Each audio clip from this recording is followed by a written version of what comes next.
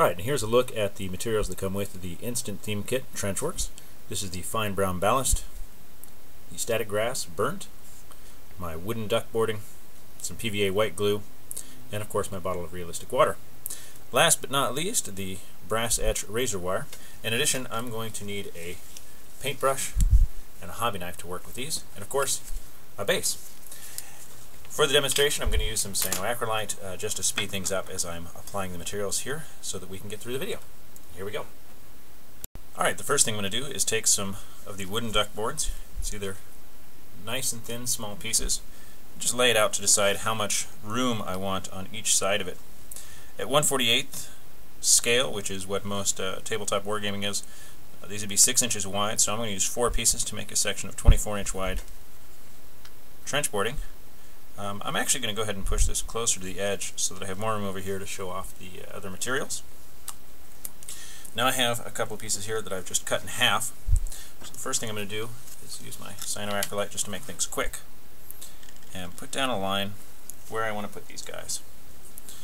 And I am going to lay it off center a bit. Don't worry about the overhang, we're going to cut those off in a bit and I'll save the pieces so that I can use them later on as well and I'm going to put a gap in here of about less than an eighth of an inch just enough to make sure that it's clear there is a gap. Alright next I'm going to repeat the process. Make a little line thin layer of my glue.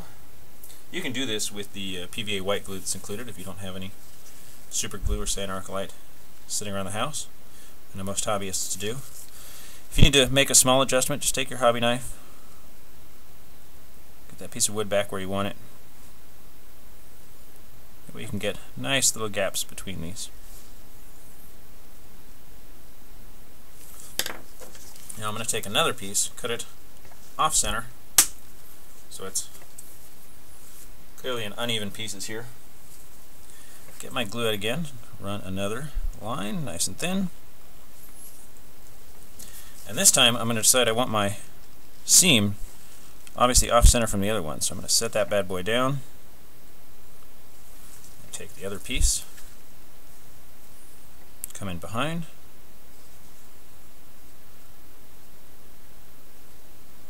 Make sure he's down. Again, do the same sort of thing. I'm going to set these off off center here.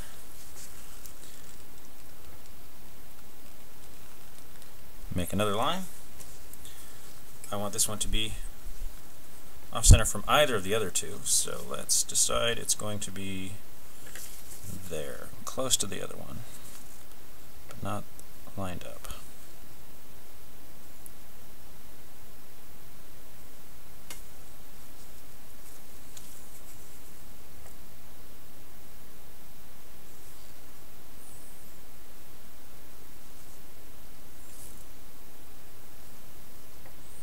I'm just putting that gap a little closer together. So these are my duck boards. Leave down, I'm going to press on them, make sure they've got a nice firm attachment. And that's it for the moment. I'm going to give that a minute to dry and come back and cut them up.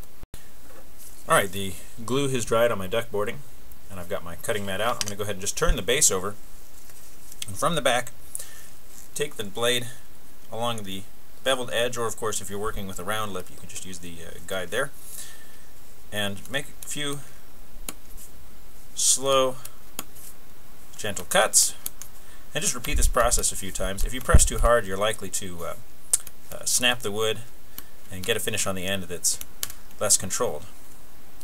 You can see as I'm cutting these, they'll make nice small pieces for my second base, and I always keep the scraps so that I can come back and do more with it later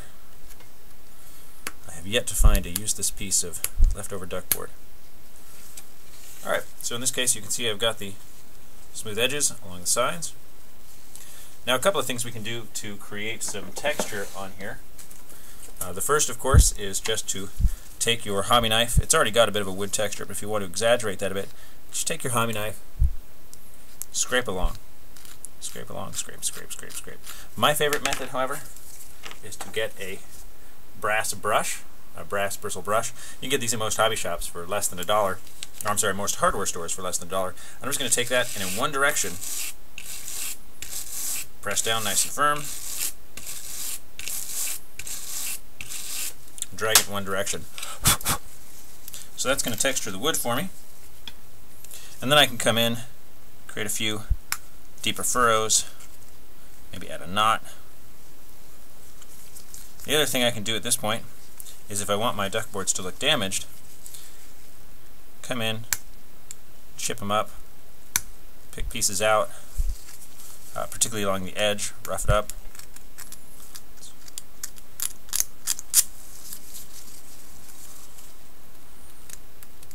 So I'm just going to weather these up a bit, and we'll come back. Alright, I am back with my base. I have weathered up the duck boards. Now I'm going to start applying the ballast.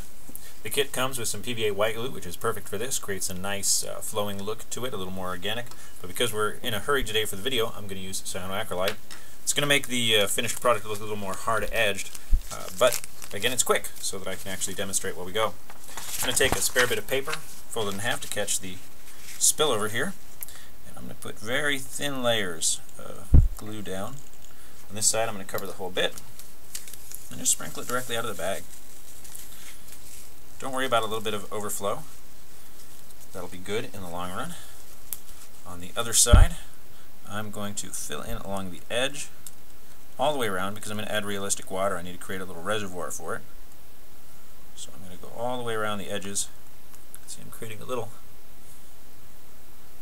little container here. Cover that. Shake off the excess. And now I can come back and add some more definition to that, a little bit more shape.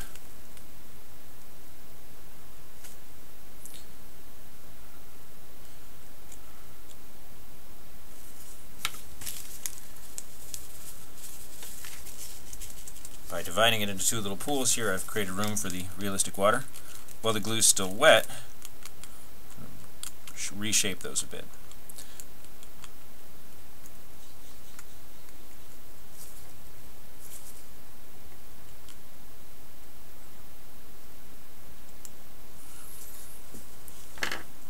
Alright, that easy for applying the fine, fine brown ballast. I'm going to give this a minute to dry and come back and move on. And back again to apply some of the static grass. This time I am definitely going to use my PVA white glue. Just going to put a few drops here and there. Static grass, in my opinion, looks a lot better if you do it in clumps. So I'm just going to put a couple of clumps for the moment. I might come back when the base is finished and add a bit more.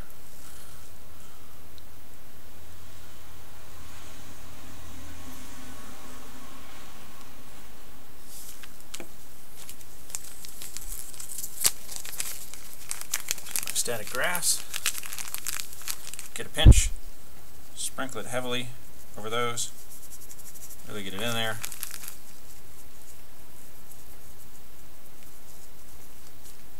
Press down gently.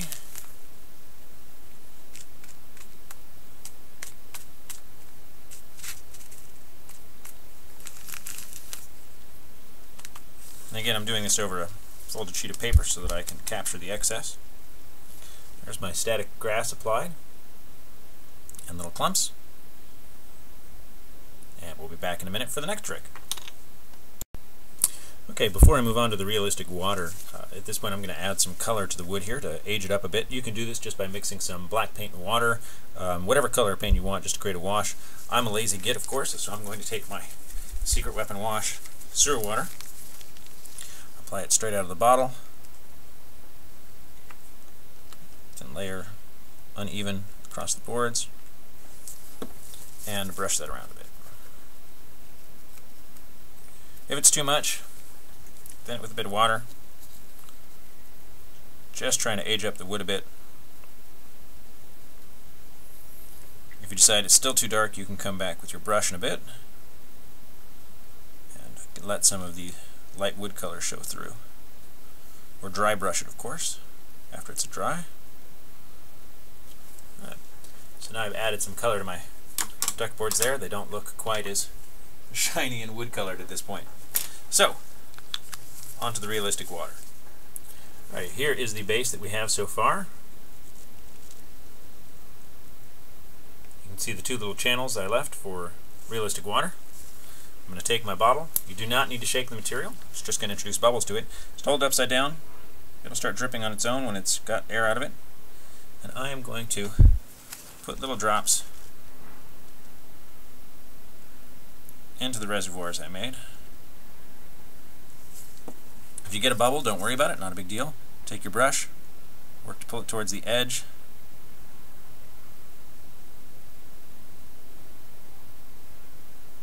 And normally it'll work itself right out. There we go. I'm also going to take a little bit of the realistic water and put it here between my duck boards. I want to make my boards look nice and wet too. If you've got it on the boards and you decide you don't want it there, you don't want the boards themselves to look wet, not a problem. Now that it's actually between the boards, you can take your finger, just wipe it off the boards. And that's it. Of course, I have to wait for this to dry, and we'll come back. While the realistic water is drying, I thought I'd come back to our realistic razor wire here. This is in fact short tine razor wire and not, as so many products are, simply a wire wrapped around a wire. This is sharp, so watch your hands while you're handling it. Um, all you have to do to get off of the frame, and I've already removed a couple of rows here, uh, all you need to do to get off the frame is cut the frets between rows. Decide how many you want ahead of time. In this case, I'm going to use two rows. So I'm going to cut all the frets between two rows. The fret's a little line that just hold it in place.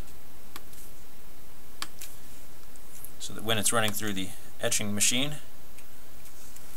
it doesn't come apart on us. And then I'm going to cut the end where it folds over. This is about five feet of continuous loop. So you'll have to decide the length you want. Now that I've got it cut off, it's nice and bent. Just straighten it out. Again, you can really see the razor tines here. So I'm then going to take the handle of my paintbrush, hold it at one end, and then just rotate the brush, holding the razor wire tightly, let it loop around.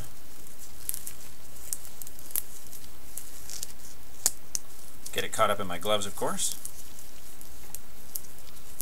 Once that's done, pull it nice and tight, slide it down towards the end, pull it nice and tight, and you'll have a small coil of realistic short tine razor wire.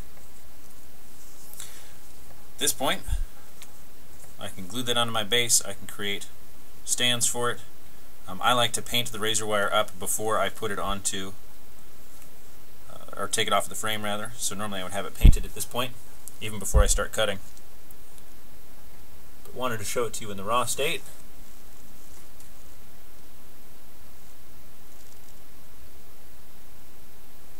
And I'll be back with pictures of the finished product as soon as everything finishes drying. And here we are again with the finished base, with the exception of some paint for the razor wire and the wash I put onto the duck boards. This is made using only the materials included in the Instant Theme Kit Trenchworks.